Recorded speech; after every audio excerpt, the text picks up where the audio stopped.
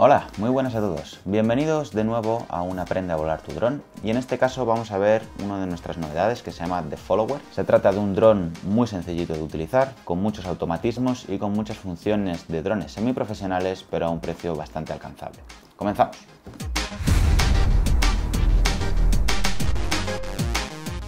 Pues como decía, este dron está cargado de características que lo hacen súper versátil y es súper sencillo de volar, por lo que cualquier persona realmente va a poder aprender con este dron y va a poder sacarle bastante partido. Si tenemos la caja, vamos a poder ver aquí todos los automatismos que trae y esto es algo raro de ver porque generalmente no vemos tantas características en un dron de este precio. Como habéis visto, modo Follow Me nos va a poder seguir. Gesture Control, ¿qué significa esto? Esto significa mm, básicamente que vamos a poder hacer que el dron haga una serie de acciones a través de gestos. Nos va a interpretar a través de la cámara y va a hacer esas acciones, ¿vale?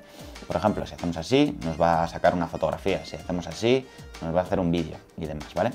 Por supuesto tiene un control de altura con una camarita que va apuntando hacia abajo y va midiendo la distancia que hay entre el dron y el suelo para mantener la altura de una manera bastante estable. Esto tiene despegue y aterrizaje automáticos y tiene el típico botón de marcha atrás o vuelta a casa, como queráis llamarlo, pero tener en cuenta que el dron no tiene GPS por lo que no va a poder volver exactamente al punto del que partió. Lo que va a hacer es esta marcha atrás que ya hemos visto en otros, en otros drones similares que mm, tira para atrás el dron con la intención de llegar hacia donde estaba el, el piloto hipotéticamente.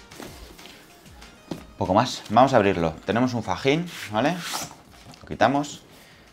Y lo que mola de este dron es que nos viene directamente en una maleta, nos lo vamos a poder llevar a todos los lados aquí dentro. Te entra la, batería, te entra el dron, te entra el mando, te entra todo. Es un dron que se pliega, ¿vale? Y lo bueno que tiene es que nos lo podemos llevar a todos los lados. ¿Qué nos vamos a encontrar dentro? La controladora, el dron, protecciones, hélices, unos tornillitos, unos soportes para la parte de aquí, que ahora lo vamos a poner, cable de carga y el manual y una cosa eh, que podéis descartar directamente. Bueno, en primer lugar y lo más importante de todo, ¿cómo se despliega esto? Ya hemos tenido problemas con gente que los ha roto en el primer día. ¿Por qué? Porque las, patas traseras no se despliegan como las delanteras, ¿vale? Las delanteras es muy sencillo. El movimiento es así, lateral, ¿vale? Lateral, ¿veis? Está el dron aquí, lateral. ¿Vale? Salen las dos patitas, así. ¿Y ahora qué pasa? Con las, con las patas de atrás estas no son simplemente lateral, hay que, hay que sacarlas hacia abajo del dron. Mirad, si lo veis aquí, aquí lo vais a ver bien así. Pues es hacia atrás, ¿vale? En un giro de 180 grados así, ¿vale? Clic, clic, clic, clic, clic, hasta que está así. Si estando así hacia abajo, vosotros intentáis abrir la pata así, os la vais a cargar. Entonces, como digo, es taca, taca, taca, taca, y ya estaría listo. Encontraremos también cuatro patitas de estas, que estas se ponen en, el propio dron para que en vez de chocar con el motor contra el suelo, choquen estas patas, ¿vale? Son simplemente pues unos soportes que son de quitar y poner muy fácilmente para que cuando vayamos a meterlo en la caja en el transportín y nos lo llevemos, que sea más cómodo. Cuatro patas puestas. Ahora tendríamos también para poner el tema de las protecciones. Como siempre digo, las protecciones son opcionales. Sobre todo tener en cuenta que si vais a volar en exteriores, en un espacio amplio, por lo general no lo vais a necesitar. Además, restarán un poquito de tiempo de batería por el peso y un poquito de aerodinámica, por lo que no nos interesa demasiado. Pero si vais a volar en interiores, pues es bastante útil porque como tenemos las paredes muy cercas es fácil despistarnos y chocar con una pared. Y es mejor que choque la protección contra la pared a que choque una hélice. Como veis, hay dos piezas, una que encajaría dentro de la otra, así, y simplemente lo que hay que hacer es colocar esto que tiene un par de hendiduras en la parte del dron que junto a la hélice tiene dos hendiduras para encajar. Es bastante sencillo y la hendidura de en medio correspondería a un tornillo. Te viene también cuatro tornillitos y simplemente pondríamos los tornillos. Eso ya depende de cada uno, como digo, si vais a poner las protecciones, si vais a hablar en casa siempre y no vais a utilizar el transportín, ponerle los tornillos. ¿Que lo vais a estar sacando todo el día afuera? Pues si queréis no se los pongáis porque es mucho esfuerzo. Pero vamos, yo os recomiendo que lo pongáis para que la protección aguante bien, no se os pierda, etc. La recomendación del día, leeros el manual. Siempre, siempre, siempre es importante y más en la parte de los controles, porque los controles siempre van a cambiar de un dron a otro. ¿Cómo se sincroniza esto? Muy sencillo, como siempre. Encendemos la emisora, encendemos el dron, están parpadeando las luces, le damos a la palanca de la izquierda, ¿vale? Arriba, abajo, veis que ya han parado de parpadear y ya en principio estaríamos listos. Controles básicos que suele haber, eh, cuando llevamos las dos crucetas hacia el centro y abajo, ¿veis? Que las hélices se arrancan, ¿vale? Esto es una manera de arrancar los motores. Le daríamos primero eso y en cuanto yo le pegue al joystick hacia arriba, el dron va a levantarse. Ahora no lo voy a hacer porque evidentemente está muy cerca de mi cara. Más cosillas que se pueden hacer. Si llevamos los dos joysticks hacia abajo y hacia afuera en vez de hacia adentro, ahí está. ¿Veis que han parpadeado? Ahí se ha realizado un calibrado. El giroscopo se calibra y de esta manera nos aseguramos que el dron va a volar lo más estable posible. Controles que vemos dentro de la emisora. Aquí arriba, en la parte de atrás, tenemos el modo vuelta a casa y el modo control absoluto. Aquí delante nos encontramos con el autodespegue y el autoaterrizaje y los otros botones son para el trimado. Con estos dos controlaríamos el trimado del desplazamiento hacia adelante y el desplazamiento hacia atrás y en estos dos el de los desplazamientos laterales.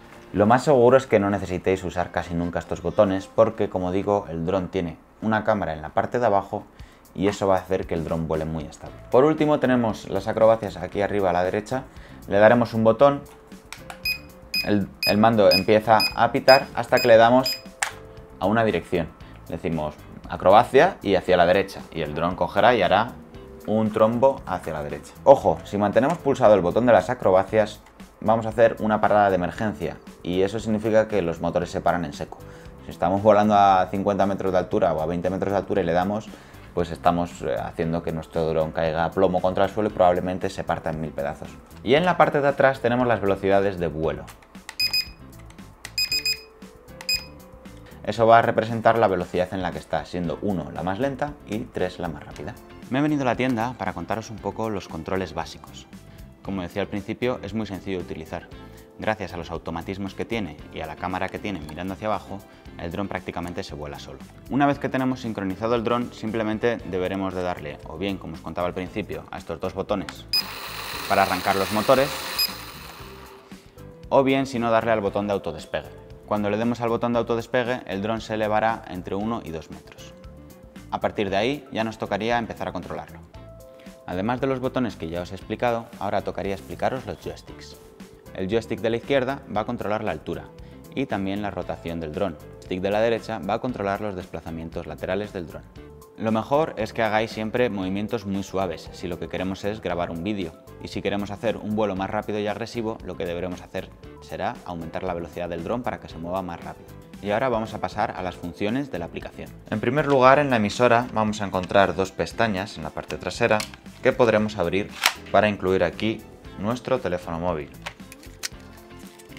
Lo colocamos y listo. Bien, a continuación tendríamos que encender el dron y encender la emisora y sincronizar de manera normal. Ahora lo que tenemos que hacer es irnos en nuestro dispositivo móvil y encender el wifi. Buscaremos dentro de las conexiones wifi una que se llame M8 barra baja 1080p seguido de un número bastante largo que es el número de serie. Una vez que se ha conectado deberemos abrir la aplicación HFan que deberíais descargaros esta aplicación vais a poder encontrarla tanto en la Apple Store como en la Play Store. Una vez dentro de la aplicación, como veis, tenemos Flight Mode, Master Mode. A la izquierda encontraremos una ventana de opciones donde nos permitirán cambiar cómo se van a ver las dos simulaciones de joysticks que van a aparecer en la pantalla. Podríamos cambiarla o dejarla como está. Podremos cambiar también el idioma, pero por desgracia todavía no está en castellano. Y tenemos un par de botones más para actualizar o para pedir ayudas. La diferencia entre el Flight Mode y el Master Mode es simplemente que al darle el Master únicamente veremos, eh, como veis, la imagen y al dar a Flight Mode podremos controlar el dron con estas palanquitas simuladas. La calidad de imagen es bastante buena. Cositas que nos encontramos. Nos encontramos, por ejemplo, esto botón va a manejar la velocidad. Con este podremos hacer una fotografía y con este iniciar el vídeo. Cuando paremos, estas imágenes se nos guardarán en el móvil. Si le damos a folder, veremos aquí el vídeo que acabamos de grabar y estará directamente en nuestro móvil. El vídeo se graba en calidad 1920 x 1080, esto es muy importante porque la calidad es muy buena. Más cosas que tenemos, tenemos un botón para eh, arrancar y despegar automáticamente, Junto al botón de arriba a la izquierda de volver encontraríamos un botón que nos va a permitir utilizar la segunda cámara del dron. Eh, la segunda cámara está aquí abajo, nos sirve para que el dron controle de manera automática la altura. Y al darle a este botón lo que vamos a poder hacer es ver a través de esa cámara. Si seguimos pulsando ahora pasarán a mostrarnos tanto la cámara frontal como la cámara cenital y en unas diferentes opciones, mitad y mitad o sencillamente solo una. Arriba a la derecha, si pulsamos, vamos a encontrar que se nos abre un menú. El menú de arriba, eh, empezando por el botón de la izquierda, lo primero son unos filtros que vamos a poder poner. En este caso, esos filtros no están traducidos, pero bueno, nos vamos a encontrar con que podemos hacer diferentes filtros para nuestras imágenes. Son un poquito para que a lo mejor el vídeo salga más listo por si queremos compartirlo directamente en un Instagram o en una red social. Y para explicaros los últimos modos de la aplicación, me he venido a la tienda. En este caso vamos a hablar del modo Follow Me y del Gesture Control. Aprovecho para deciros que en este espacio en el que estoy también damos unos cursos de drones que os pueden ayudar para aprender a volar. Para explicaros este modo de la mejor manera posible, he colocado el dron en una posición fija para que no me sea muy complicado lo de grabar, volar y explicaros esto a la vez. Y sigo por donde iba. El botón que tenemos después del de los efectos que hemos explicado antes sería el de la mano. Al darle nos saldrá un cartelito en el que nos dirá que para que esto sea efectivo tenemos que estar como mínimo a un metro y medio de distancia. Decimos que sí y ya empezaría a reconocer la palma de la mano. Si hacemos así, el dron empezará a grabar un vídeo.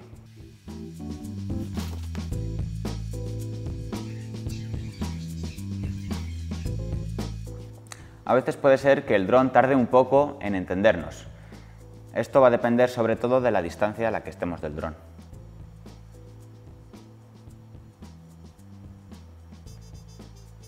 Y el dron empezaría a grabar. Lo mejor es que hagáis un movimiento suave, desde arriba hasta abajo, porque también cuando nos detecte de nuevo este movimiento, el dron dejará de grabar. Si queremos que haga una fotografía, podremos levantar los dedos y el dron interpretará nuestros dedos y tras un timer nos hará la fotografía. Como veis, a veces tarda un poco en interpretar el gesto, es normal. Para que el modo Follow Me funcione, deberemos desconectar el mando del dron y utilizar únicamente el smartphone. Una vez que está sincronizado, lo primero que deberemos hacer será decirle autodespegue. El dron se levantará y una vez que está el dron estable y mirando hacia nosotros, le daremos al modo Flight Mode que aparece en la esquina inferior derecha nos saldrá un cartelito, le decimos que aceptar y entonces el dron nos identificará y nos hará un recuadro de color azul. Una vez esté el recuadro de color azul, lo que haremos será pinchar en la pantalla hasta que ese recuadro pase a ser rojo y en ese momento podremos empezar a movernos para que el dron nos siga.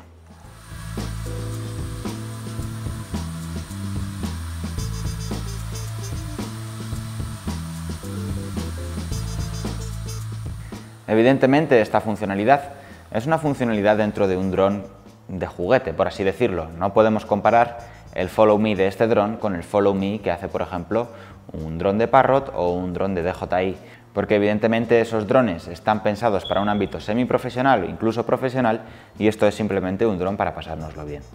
El resto de funciones que vamos a encontrar dentro de la aplicación las realizaríamos de nuevo utilizando solamente el smartphone conectado al dron, al lado del icono de la mano, que nos servía para hacer los gesture control, encontraremos una especie de puntos unidos por unas líneas y esto lo que va a abrir es la posibilidad de generar unas rutas. Realmente no son unas rutas muy elaboradas, de nuevo como en el caso anterior.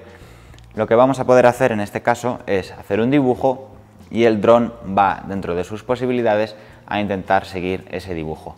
Si lo hacemos en unos espacios amplios, pues nos aseguraremos de que el dron no se vaya a chocar de una manera accidental con una pared. Yo antes lo he probado aquí dentro y casi lo estrello. Con el dedo índice pintaríamos y mientras tanto nos va a salir en la parte izquierda de la pantalla eh, un joystick. Con este joystick será como el joystick izquierdo de siempre, con él controlaremos tanto la altura como la rotación. El siguiente icono es el de las gafas y esto lo que va a hacer va a ser dividir la pantalla en dos para que nosotros al ponernos unas gafas podamos tener la visión del dron y hacer vuelo FPV.